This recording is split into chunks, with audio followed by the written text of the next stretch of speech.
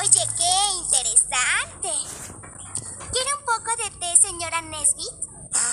¡Vas! Qué bueno que pudo visitarnos aunque fuera tarde. ¡Oh, no! Qué bonito sombrero, señora Nesbit. Le queda muy bien a su cabeza.